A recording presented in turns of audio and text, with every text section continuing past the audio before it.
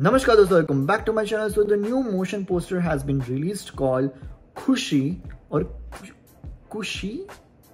Oh, there it's not Khushi, it's Kushi. Kushi starring Vijay Deverakonda and Samantha. So let me know what Kushi means. Here we go.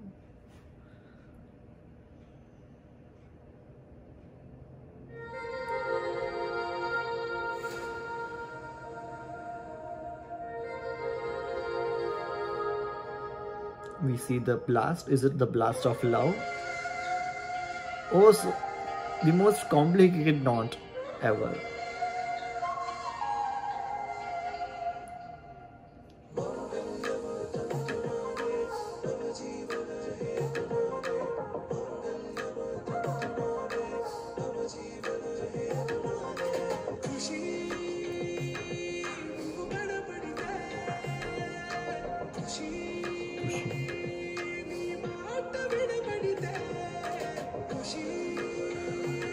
Oh, it's a Kashmir map.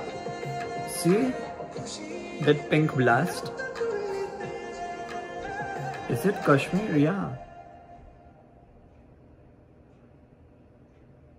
Okay, so now it makes sense. Like, just look at the aspas ki jaga. It is all snow, all like valleys. So yeah, it is like they are going to shoot in Kashmir. So in this movie, we might see amazing scenario, amazing scene scenarios.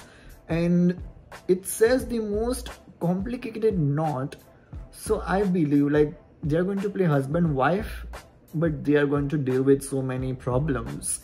That's exciting story. Like it is not always about you know happy thing happy like there are so many complicated things which it looks like that it will be so real and natural which like in marriage life it is not always this moment very happy moment like there will be complication and how they're going to deal with it. Like even in the poster samantha is giving the look and vijay is like i don't care. I just smoke. This casting samantha and vijay is the most attractive casting. Like these actors are so attractive human being. Vijay being so handsome samantha being so beautiful so that is another reason to watch them together. So let me know guys like they have been casted for the first time together. Are we watching them together for the first time? Or they have already made movie together before? But yes i think just this moster, uh, motion poster gives us hint about what a story or a plot can be.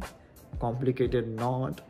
Kashmir so yes, this movie is going to release on 23rd December 2022 and I think these two actors are the reason which might make me watch this movie. So yes, I'm really looking forward to watch more from this movie like teaser, trailer. So thank you so much guys for joining me. If you like this reaction then like, share and subscribe to my channel. Dhanyavad.